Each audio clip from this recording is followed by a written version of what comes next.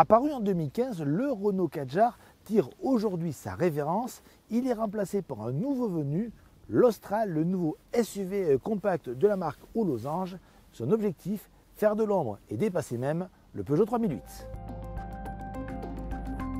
Le Renault Kadjar a connu une carrière plus que convenable avec près de 700 000 exemplaires écoulés, mais le SUV du losange n'a jamais réussi à faire de l'ombre à son ennemi juré, le Peugeot 3008 qui lui a dépassé le million de ventes. La situation française est similaire, ainsi en 2021, il s'est vendu nettement plus de Peugeot 3008 que de Renault Kadjar et ce dernier s'est fait même dépasser par le Hyundai Tucson. Il faut donc réagir pour Renault et c'est chose de faite avec cet Austral. Si les Hyundai Tucson, Peugeot 3008 ou Kia Sportage ont décidé de miser avant tout sur un look très fort, c'est moins le cas de cet Austral qui joue plus la carte du consensus. Alors bien sûr, on retrouve le style des dernières productions Renault et par exemple des feux en forme de C qui peuvent adopter ici une technologie Matrix LED, une large calandre frappée en son centre par le nouveau logo Renault. Et vous avez également à l'arrière des feux très proches de ceux du Coleos, mais qui ont été travaillés afin d'apporter une signature lumineuse unique. Alors certes, du consensus, mais toutefois Renault a travaillé certaines spécificités avec l'introduction euh, d'une finition dénommée Esprit Alpine qui se caractérise d'une teinte grise spécifique. Vous avez euh, des jantes 20 pouces euh, siglées Alpine, mais également un intérieur unique. A noter que certaines finitions également hautes bénéficient de jantes 20 pouces différentes et d'une peinture bicolore différente avec un toit noir. Donc en clair, vous l'aurez compris, Renault ne se positionne pas tout à fait pareil au niveau du style que certains de ses concurrents, mais veut séduire le plus grand nombre. D'une longueur de 4,51 m, soit 4 cm de plus que le Kadjar, l'Austral soigne ses aspects pratiques avec notamment au niveau de la console centrale un repose-coude coulissant, ou place arrière, deux adultes seront confortablement installés, l'espace aux jambes est bon sans être extraordinaire, la garde auto est excellente et la largeur au coude aussi. Tout cela est complété par une maquette coulissante de série sur 16 cm et fractionnable selon le schéma 2 tiers 1 tiers avec dossier inclinable, ce qui n'est pas très courant sur le marché. Le coffre propose un volume oscillant entre 500 et 575 litres suivant la position de la banquette pour les versions hybrides légères. Les full hybrides, comme c'est le cas aujourd'hui, peuvent recevoir entre 430 et 555 litres.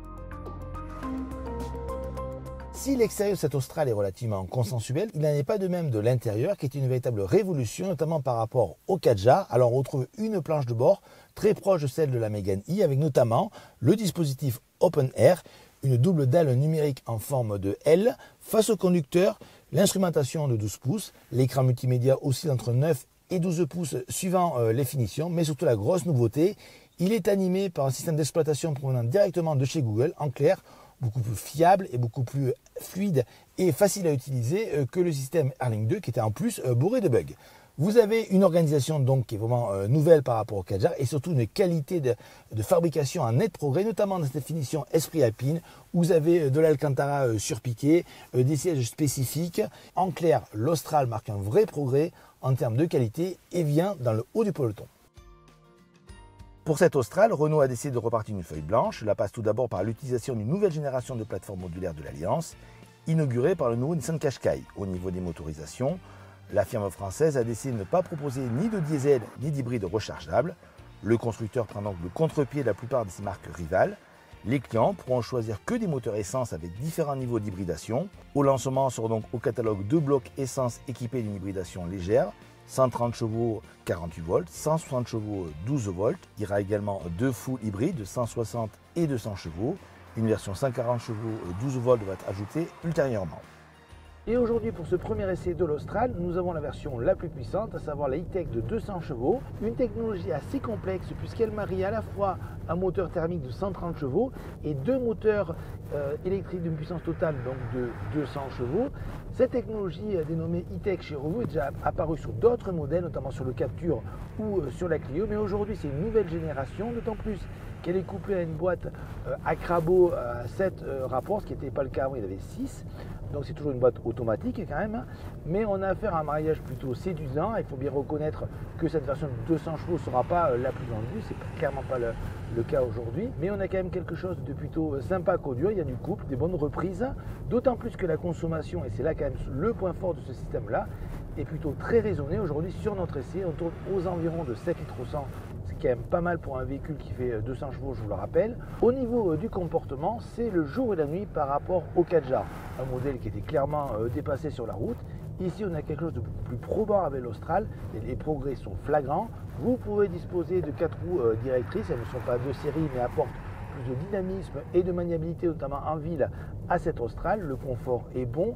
Avec des jantes de 20 pouces aujourd'hui, c'est vraiment très très bien et c'est étonnant. Le confort sonore, lui, est tout à fait euh, correct pour la catégorie. On notera donc du bon confort, du dynamisme quand même un petit peu moins qu'à bord du Peugeot 3008 par exemple, mais supérieur à un Hyundai Tucson.